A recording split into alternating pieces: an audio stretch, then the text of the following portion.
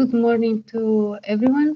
Uh, it seems that today is my time to present our speaker. It's Anna Crema. I hope all of you already know her. She's working with us for past four months, five more or less.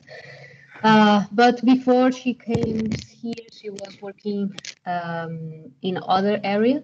And today Anna will talk a little bit of what she did in her PhD before coming to work with us as a postdoc. Uh, so Anna, please, the stage is yours.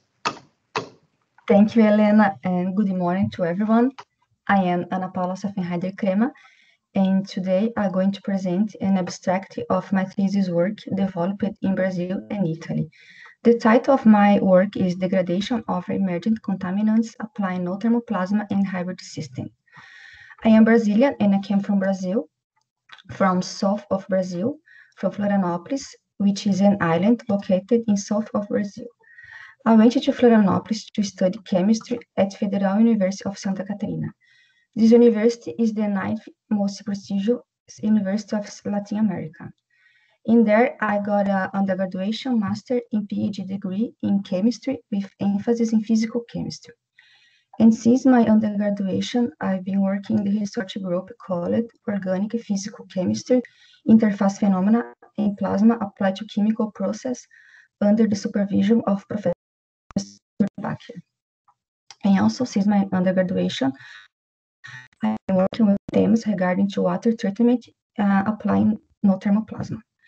As you know, plasma is the fourth distinct state of the matter, is a partially or fully ionized gas composed by photons, high energy accelerated electrons, radicals, excited and neutral molecules, UV radiation, etc.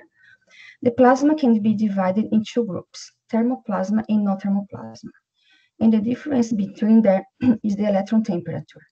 In thermoplasma, the electron temperature is the same of the other components, while in non-thermoplasma, there is a significant difference between the electron temperature and the other components. And we can observe the plasma phenomena in the nature. An example of thermoplasma is the solar surface, and the non-thermoplasma is the aurora boreal. Uh, non-thermoplasma is a kind of advanced uh, oxidation process, and this process are characterized by the formation of the oxidizing species in the reaction. For example, the hydroxy radical. The hydroxy radical is the main species formed in this kind of process because high oxidation potential, 2.85 uh, volts, capable to degrade uh, the most organic compounds.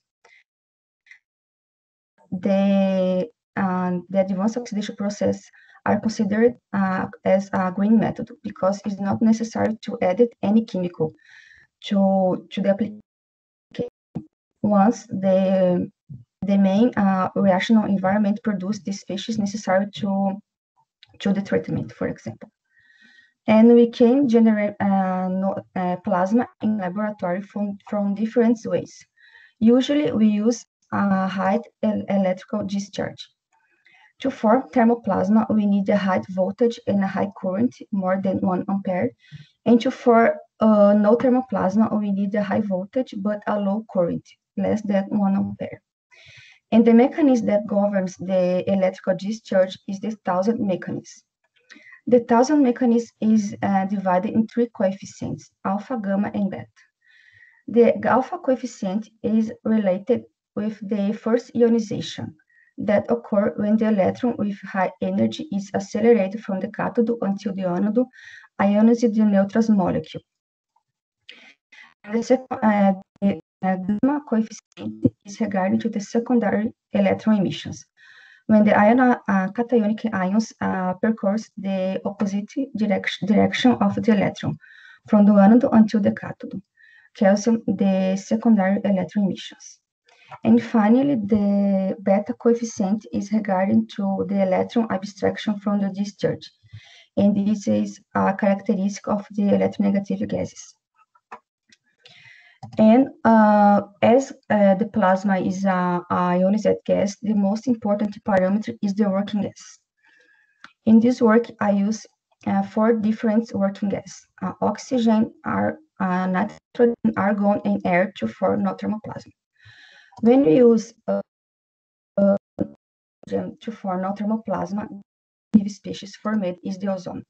In nitrogen no thermoplasma, the oxygen nitrate is the precursor to four others reactive nitrogen species as nitrite, nitrate, peroxynitrite, etc. And when you use argon to form no the cationic argon is the most important uh, species formed because uh, responsible for is responsible for the secondary electron emissions, guarantee to argon a better sustainability discharge. And when you use air as working gas, we have a mixture of the, all these species. However, when you form no thermoplasma on the water surfa surface, the most important species formed is the hydroxy radical. And the formation of the hydroxy radical occurs when the electrons with high energy uh, chokes with the water surface, generally the radicals hydroxy and hydrogen. Uh, the species can be uh, created in the reactional environment can be classified into uh, in three ensembles. Uh, the progenitor species, the primary, and the secondary. The progenitor species uh, are, is, are the working gas that are used for no thermoplasma in the water vapor. The species will react with the electrons with high energy to form the primary species that are basically the radicals. The primary species, uh, they have a high oxidation potential, but a short lifetime.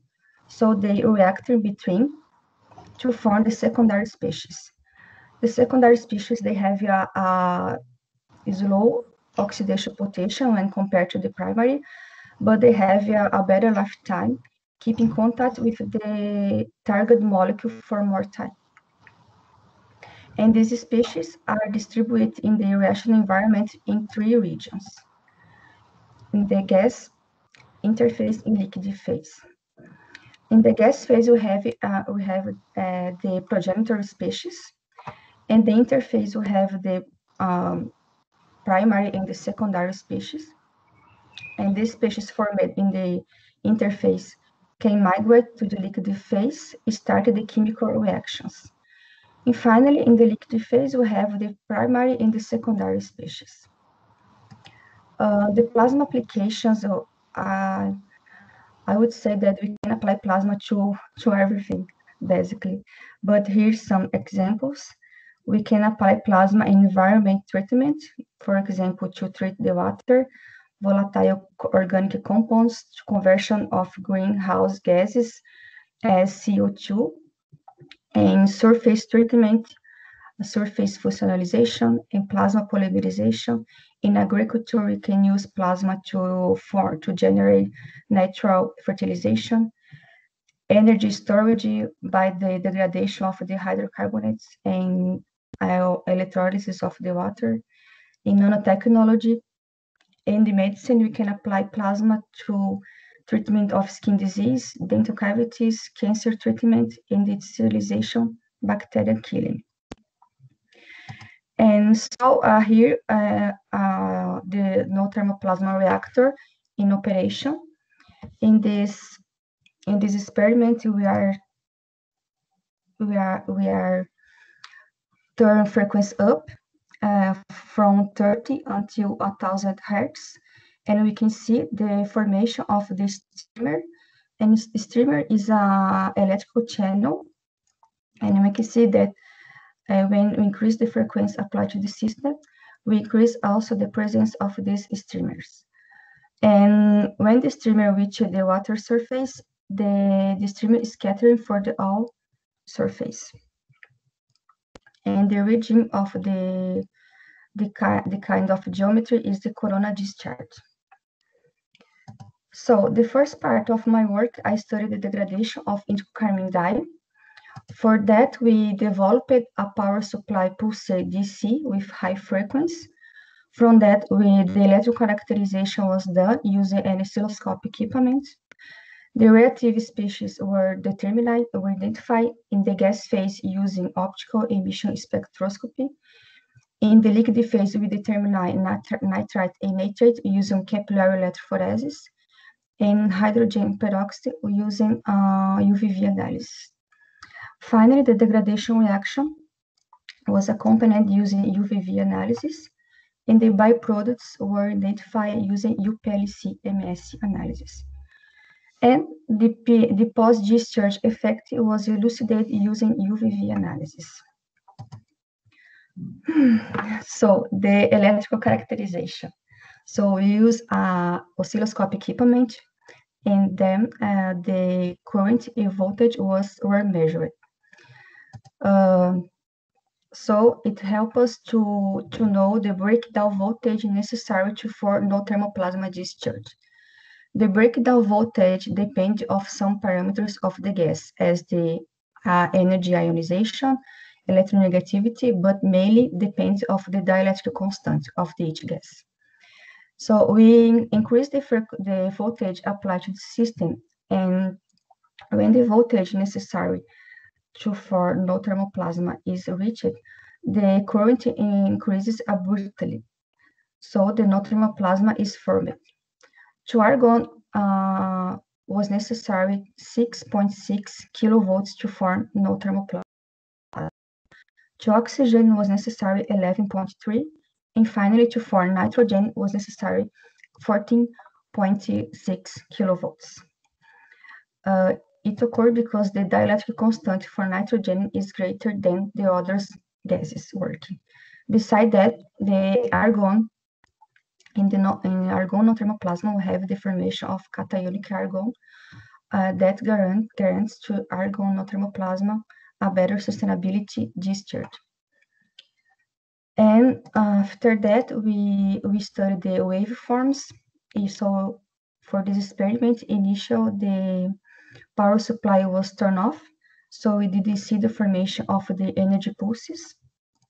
Uh, after the frequency, uh, the power supply was turned on, but here in this moment, we don't have uh, current and voltage enough to form no thermoplasma. So a wide energy pulse was observed, due to a great dielectric constant of the medium, resulting from the uh, slower process for this energy dissipation.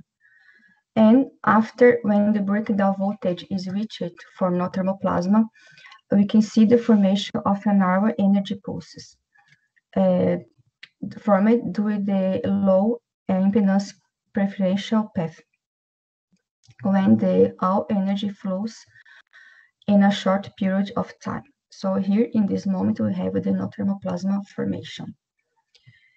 And the reactive species uh, were identified using uh, optical emission spectroscopy.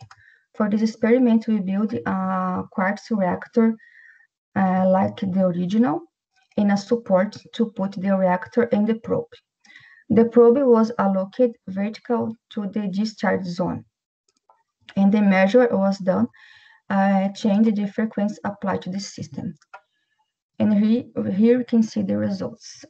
Uh, for all no thermoplasma, the hydroxy radical were identified and also the hydrogen alpha. Beside that, the specific uh, reactive species were identified to each gas. To oxygen or thermoplasma, the oxygen atom were identified. To nitrogen, the uh, ensemble of nitrogen reactive species were identified. Also, the oxynitric and the nitrogen in the argon or thermoplasma, the argon species were also identified. So this species here, K, formed in the interface, gas interface can migrate, migrate to liquid phase by diffusion process and changing the initial characteristics of the liquid, as for example, the pH, conductivity, and oxidation redox potential. Due the anionic, oxid oxidative species, and acid species. So uh, the profile was quite similar for the alt no thermoplasma, when we can see the decrease of pH during the alt treatment and increase of conductivity and oxidation redox potential. And the values was quite similar between the argon and oxygen non-thermoplasma, but when, when we work with nitrogen non-thermoplasma, the values was uh, more significant due to the formation of uh, um, nitrogen acid species. Uh, from that, we studied the post-discharge effect. So in this experiment, uh, firstly, the conventional non-thermoplasma treatment, the power supply was turned on during the whole treatment, and the analysis was done at the same day. In the post-discharge treatment, the power supply was turned on just for a few minutes. After that, the power supply was turned off, and the analysis was done after 24 hours. This experiment allows to understand the secondary species stability. Once the secondary, they are formed from the primary species that have a short lifetime and need to be constantly formed by the discharge, uh, no thermoplasma discharge, while uh, the secondary species, they are formed by the primary, but they need to, they don't need to be uh, maintained by no thermoplasma discharge uh, keep in contact for more time with the target molecule. Besides that, the secondary species has uh, some pro interesting properties, as for example, antibacterial properties. So as a result, so have here, uh, when we use oxygen thermoplasma, and the degradation using no thermoplasma conventional treatment was better when compared to the post-discharge effect uh, in both the reaction, the main species responsible for the, this, the degradation is the ozone. However, when you use the conventional treatment, we have ozone and other reactive species that contribute with the degradation of the indigo carmine. And while in post-discharge effect, the, the main species responsible for this degradation is the ozone, just the ozone. An interesting result was observed when you use nitrogen no thermoplasma. When you use the conventional treatment in this kind of gas, we observe uh, the initial, in the first 50 minutes, the 15 minutes, the induction period. In this moment, we don't have uh, reactive species enough to, to degrade uh, the, the dye just only after 50 minutes, uh, we are able to degrade this target molecule. But in the post-discharge effect, uh, we don't observe this uh, induction period because since the beginning of the reaction, we have uh, reactive species enough to start a degradation reaction. And the main species responsible for the post-discharge effect in this kind of plasma is the peroxynitrite. Peroxynitrite is important in, the in, in post-discharge effect due a high uh, potential oxidation at 2.44 uh, volts, helping into in the degradation of the into carmine dye. And finally, the degradation reaction was accompanied by UV-Vis analysis. And here you can see the difference be between the colors uh, initial without no thermoplasma treatment and after the, the treatment. And from the, the degradation reaction, we propose a fragmentation hot for uh, um, this reaction. And uh, here we can see the, the fragmentation hot. So when the carmine dye reacts with the no thermoplasma species occurs the homolytic cleavage of the molecule, originating the sulfonate isatine.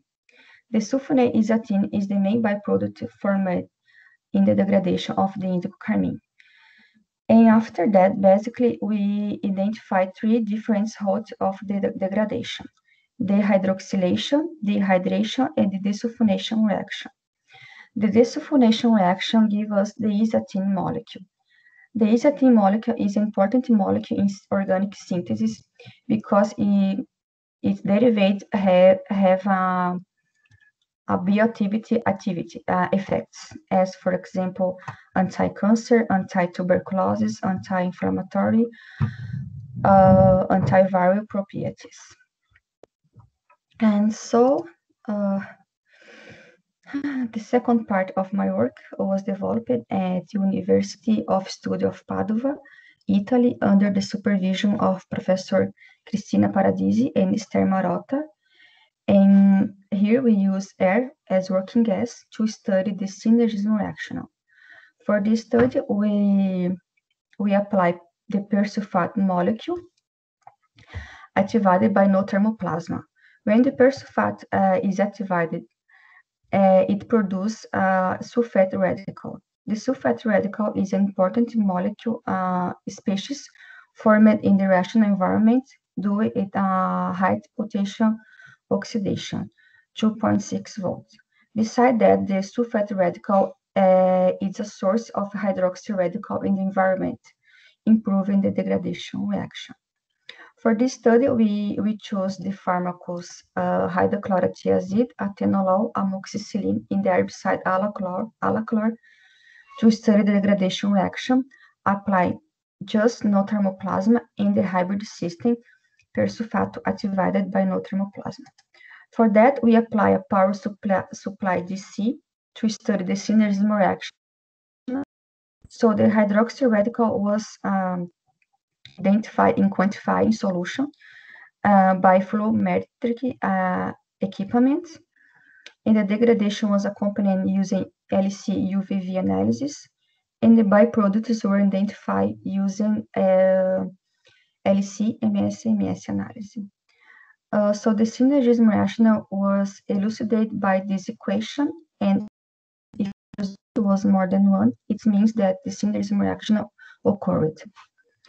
Here just an example of the, the proposed fragmentation route. Here we have the isotene treated with the no thermoplasma in the left.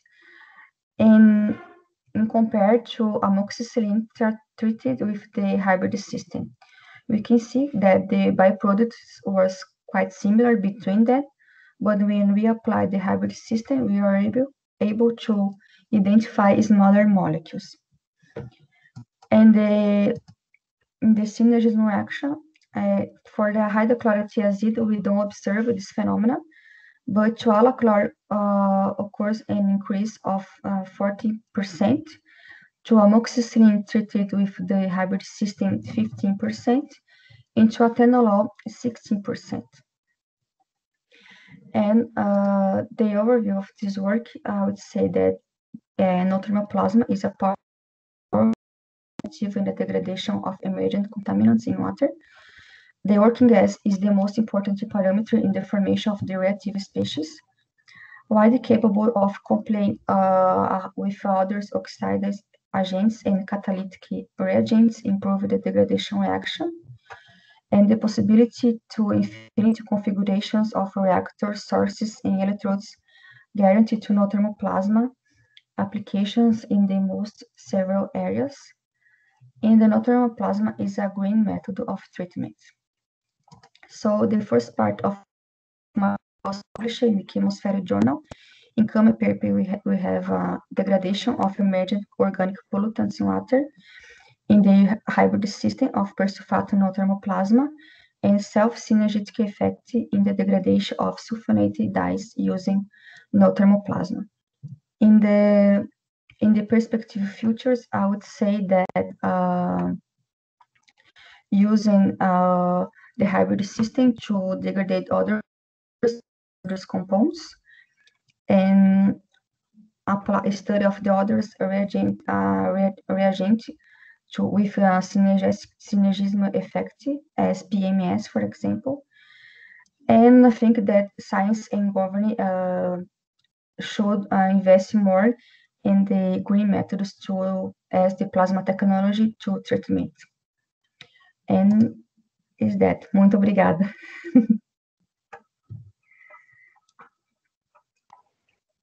Thank you, Anna, for Thank this you. very interesting uh, presentation. So, mm -hmm. someone wants to do any question?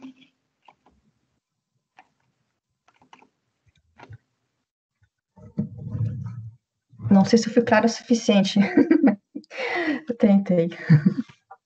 É um tema bem mais, é um tema bem diferente do que nós geralmente temos aqui, mas uh, sem dúvida foi interessante, foi muito interessante. Uhum. Uh, Nick, it's you. Sorry, sorry, I missed I'm- the beginning. Um, so maybe, maybe you've already answered this. Actually, I think it's weird. I think it's the first time I've seen your face. Uh, so in like uh, four months. But anyway, um, I was wondering, what is um, like? Is there like a volume limit? What? How big a volume can you treat using your technique? Ah, okay. Uh, in in this study, I I treat a, a hundred ml of a um, of a uh, solution, but we can the non-thermal plasma easy to scale into industrial uh, applications. Depend uh, always depend of the geometry of the reactor. And are you are you forced to to use uh, argon, or can you use other other gas? Yes, you can use argon or can use uh, other gas. Depend of the. is interesting because we can manipulate the system by the using the different gases. So depend of the application that you want to do. Okay, thank you. Thank you. Helena, se eu Olá. posso. Sim, professor. Hum, Ana, muito obrigado pela tua apresentação. Obviamente que parece que é muito diferente daquilo que a gente faz por aqui, mas na verdade é muito complementar em muitos aspectos do que a gente faz por aqui. Uhum. Bastas vezes nós mencionamos a possibilidade de depois tratar o efluente de uma maneira ou de outra, e não é a primeira vez que em reviews que a gente faz, a gente aborda este tipo de técnica para fazer tratamento de efluentes contaminados, seja com líquidos iónicos, seja com solvente sintético, seja com alguns dos produtos com que a gente tem estado a trabalhar. Portanto, é bom ter alguém a mostrar-nos como é que isso se faz. Eh, e a outra questão que eu tenho, quase que nem é para ti, quase que é para a Helena e para o Nicolá, porque eh, isto são processos de oxidação avançados e eles interessam-se muito. Nicolá, should I speak in English? Uh, no, no, no, go for it. processos de oxidação avançados são muito relevantes eh, para aquilo que eles fazem, eles, vocês fazem, uma vez que tu também estás a trabalhar com os metais. Era interessante lembro da Helena e do Nicolá terem montado um sistema com ozono para fazer a oxidação de alguns dos metais. Hum, o que tu mostras aqui é eh, como é que a gente pode, se calhar, pensar num processo destes, não apenas na perspectiva de degradar eh, compostos orgânicos que estão presentes num efluente, mas eh, fazer a dissolução de metais através destes processos de eh, oxidação avançados, ou seja, aplicá-los numa outra perspectiva mais relacionada com aquilo que a gente está aqui a fazer. Porque aquilo que tu mostraste não era simplesmente colocar ozono, como a gente fazia, a plasma, uma série de outras coisas. Uhum. Portanto, é tu que estás a trabalhar nisto, tu, Helena, Nicolá, de que maneira é que a gente poderia pensar em integrar abordagens deste tipo eh, na lixiviação e- ou numa pós-lixiviação dos metais para obter um determinado eh, estado oxidativo que nos convém para aumentar a dissolução. Uhum. Sim. É, na verdade, eu tenho pensado nisso de como utilizar o, o meu conhecimento que eu tive lá na, na- no Brasil com o trabalho aqui, porque para me sentir também um pouco mais à vontade e tudo mais, e eu acho que eu acho que realmente é possível de conseguir tentar conciliar as duas coisas. Até porque acho interessante, porque no, quando a gente, por exemplo, aplicou plasma ali, tu forma um, um, ambiente bastante ácido e sem a necessidade de, de, de adicionar reagentes químicos e tudo mais. O próprio ambiente reacional já proporciona isso para a gente. Acho que seria interessante tentar pensar em, em, em juntar é, o, as duas coisas assim. Acho que vale a pena de tentar pensar nisso também.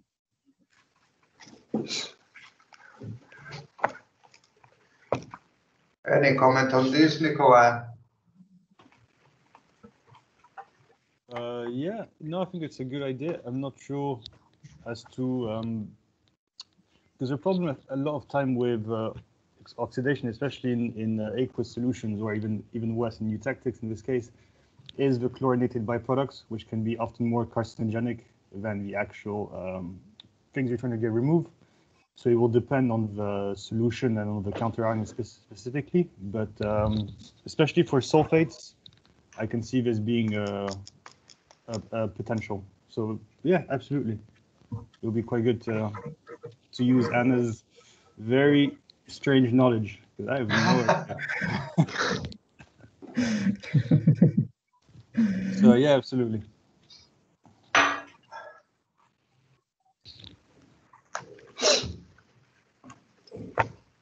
Mais alguém quer colocar questões?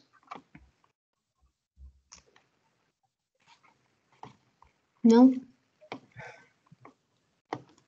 Bom, Ana, muito obrigada pela tua muito apresentação obrigada. e por nos teres trazido aqui.